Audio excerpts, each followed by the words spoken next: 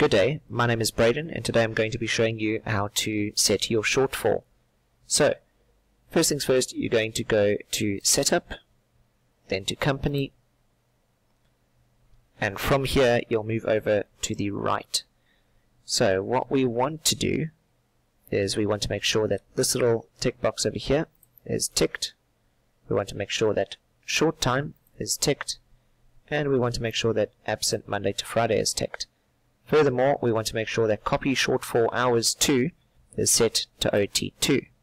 From there, you can save and close there. Then we move on to the actual employees. So we'll go to Employee Management, and we will select this employee here, go to Shifts and Preferences, then Preferences.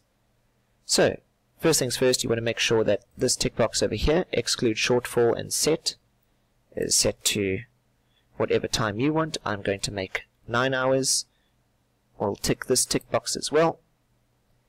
For him, I'm going to just select monthly for his pay cycle, but the time-based calculation must be daily. Then I'm just going to set the same times, 9 hours for Monday to Thursday, 9 hours for Friday, and the same for these over here. Once that's done, you are pretty much all set.